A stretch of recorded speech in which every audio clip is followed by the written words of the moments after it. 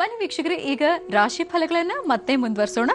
ಗುರುಜಿ, ಮಿಥುನ ರಾಶಿಯವರೆಗೆ ತಿಳಿಸ್ಕೊಟ್ಟಿದ್ರಿ, ಕರ್ಕಾಟಕ ರಾಶಿಯಿಂದ ತಿಳಿಸ್ಕೊಡ್ಬೇಕು. ಖಂಡಿತಮ್ಮ ಇನ್ನು ಕರ್ಕಾಟಕ ರಾಶಿ. ಕರ್ಕಾಟಕ ರಾಶಿಯಲ್ಲಿರ್ತಕ್ಕಂಥವ್ರು, ನೆನ್ನೆ ಮನೆಯಷ್ಟೇ ಚಳಿ, ಜ್ವರ, ಮೈಕೈ ನೋವು, ನೆಗಡಿ ತಲೆನೋವು ಏನೇ ವ್ಯತ್ಯಾಸಗಳು ನೆನ್ನೆ ಮನೆಯವ್ರಿಗೂ ನೋಡಿದ್ರು, ಇವತ್ತು ಬಹಳಷ್ಟು ಚಿಗರೆ ಥರ ಎದ್ದು ಓಡಾಡ್ತೀರಿ. ಯಾಕೆಂದರೆ ಇವತ್ತಿನ ಕಾಲ ಬಹಳ ವಿಶೇಷವಾಗಿರತಕ್ಕಂಥದ್ದು.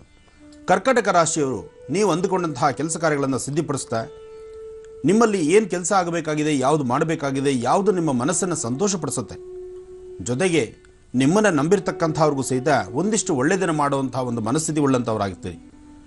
ಜೊತೆಗೆ ಇವತ್ತು ಯಾವುದೇ ಕೆಲಸ ಮಾಡಬೇಕಾದರೂ ಕರ್ಕಾಟಕ ರಾಶಿಯಲ್ಲಿರ್ತಕ್ಕಂಥವ್ರು ಸ್ವಲ್ಪ ಸಮಾಧಾನದ ರೀತಿ ನೀವು ಅಂದುಕೊಂಡಂತಹ ಕೆಲಸಗಳನ್ನು ನಿಮ್ಮ ಮನೆದೇವರ ಪ್ರಾರ್ಥನೆ ಮಾಡ್ತಾ ಬೆಳಗಿನ ನಿತ್ಯ ಕರ್ಮಾನುಷ್ಠಾನಗಳನ್ನು ಕ್ರಮಬದ್ಧವಾಗಿ ಮಾಡಿ ಒಂದಿಷ್ಟು ಬೆಳಗ್ಗೆ ನೀವು ಮನೆಯಿಂದ ಆಚೆ ಹೊರಡುವಾಗ ಕಪ್ಪು ಬಣ್ಣದ ಗೋವಾಗಲಿ ಅಥವಾ ಕಪ್ಪು ಬಣ್ಣದ ಶ್ವಾನವಾಗಲಿ ಅಥವಾ ಒಂದಿಷ್ಟು ಸಾಕು ಪ್ರಾಣಿಗಳಿಗಾಗಲಿ ಏನಾದರೂ ಒಂದಿಷ್ಟು ತಿನ್ನಲಿಕ್ಕೆ ಒಂಚೂರು ಪದಾರ್ಥಗಳನ್ನು ಹಾಕಿ ಒಮ್ಮೆ ಪ್ರಾರ್ಥನೆ ಮಾಡಿ ನಂತರ ಆಚೆ ಹೊರಡೋದ್ರಿಂದ ಸಾಕಷ್ಟು ಲಾಭವನ್ನು ಸಿದ್ಧಿಸ್ಕೊಳ್ತೀರಿ.